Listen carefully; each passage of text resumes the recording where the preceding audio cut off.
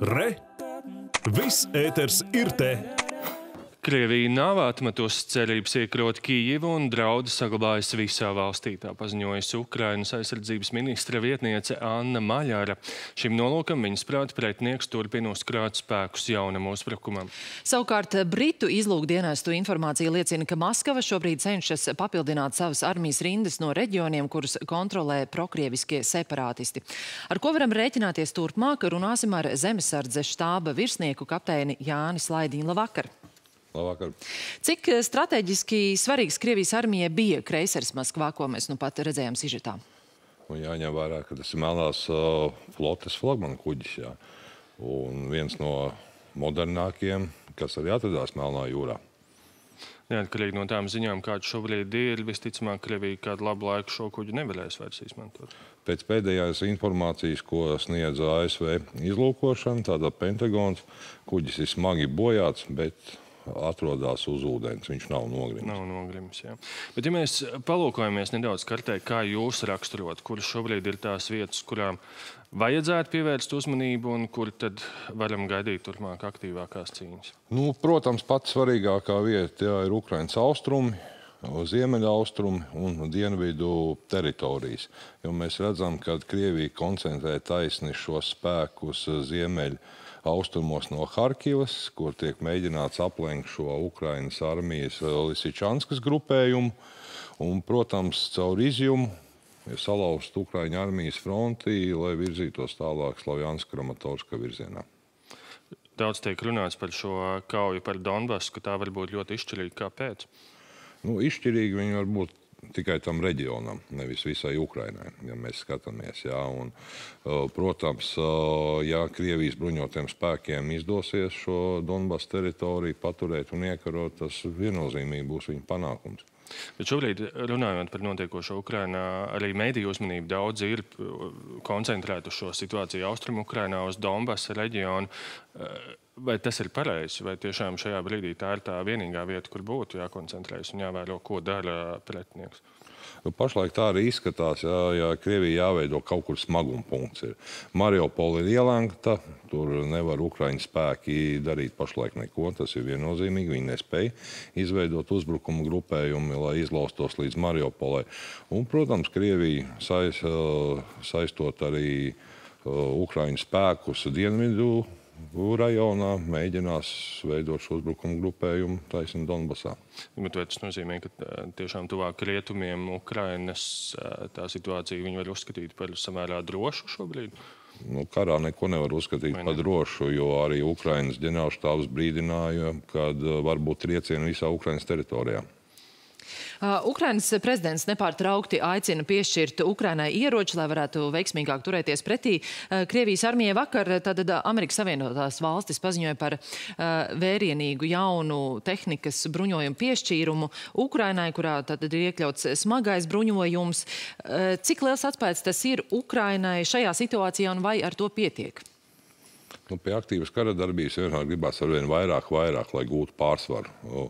Bet, jebkurā gadījumā, to, ko ir iedavusi ASV, Britānija, tas ļoti atvieglo Ukraiņas armijas darbību. Cevišķi iet runa par smago kaujas tehniku.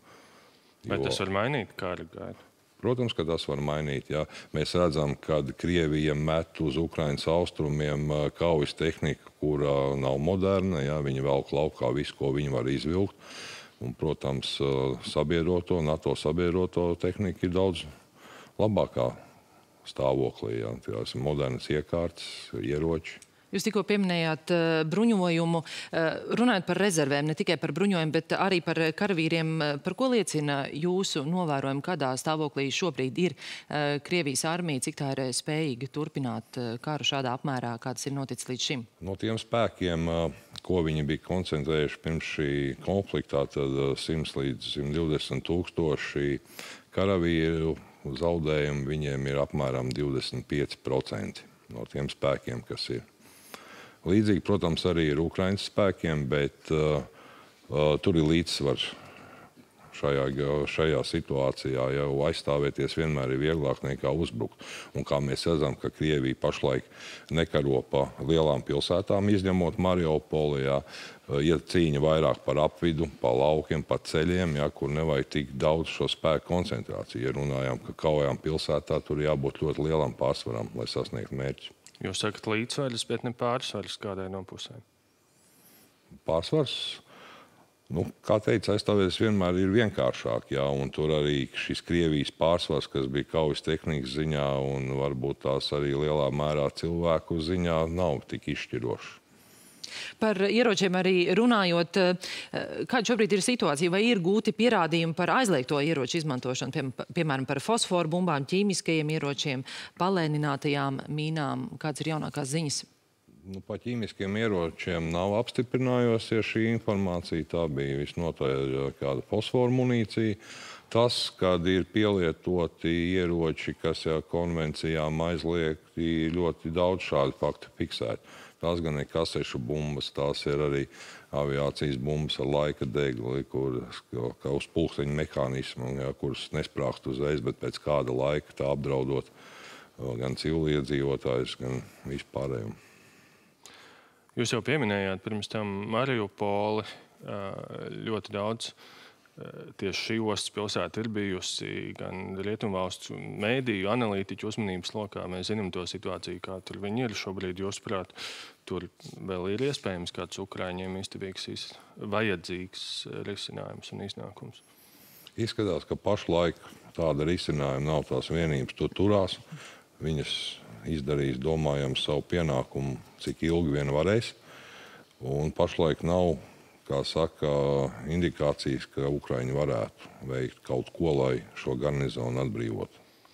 Un vēl runājot par turpmāko un par situāciju frontē, bieži tiek minēts 9. Eh, maijs kā izšķirīgs datums, līdz kuram uh, Krievijai ir svarīgi pierādīt sevi. Uh, vai jūs tam piekrītat un kāds ir jūsu prognozes? Vai pašlaik Ukrainā ir kaut kas, ko Krievija mm, tīri teorētiski varētu nosaukt kā savu uzvaru? Jā, nu, protams, 9. maija Krievijai tā ir tāda simboliska diena, bet, ja mēs runājam par kara darbību, tad ļoti grūti tagad ir nospraust kaut kādu datumu, ja tu neesi izpildījis pamatu uzdevumu, kas bija konflikta sākumā, ieņemt Kijevu tik un tik dienās, jā, un šeit runāt par kaut kādu datumu, par laika termiņu. Redzam, redzam, ka šie Krievijas spēki netiek uz priekšu tā, kā viņi plānojuši, es nedomāju, ka būtu, teiksim, nospraust laika līnijas un datums, ja, kas kaut ko atrisinātu šobrīd. Ko mēs līdz ar to, kā jūs sacījāt, turpmākās nedēļas, kādas mēs viņus varam gaidīt? Notiks kāda inten, aktivizēšanās kauja vai, vai, vai joprojām būs tā kā ar šīs nu, dažas dienas beidzamās? Gan īsti droši, ka būs kaut kādas aktivitātes. Mēs redzam, ka Krievija velk šīs rezerves klāt. Voroņieža, Ļipeckā ir redzams, ka tiek ierodās aviācija, lidmašīnas, bumvedēji, iznīcinātāji. Tas jau ir viens pierādījums, ka kaut kam jānotiek. Jā. Tik līdz viss šīs rezerves pienāks, saformēsies, saņems nepieciešamo apgādi, tad mēs varam gaidīt, kad Krievija veidos šo uzbrukumu, lai ieņemtu vismaz kaut kādu Donbass teritoriju.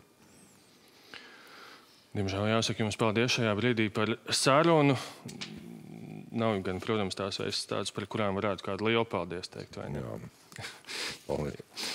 Zemesēļu štāba virsnieks kapteinis Jānis Slaidiņš bija pie mums šokar panorāmas studijā. Noteikti vēl tiksimies. Paldies jums par sarunu.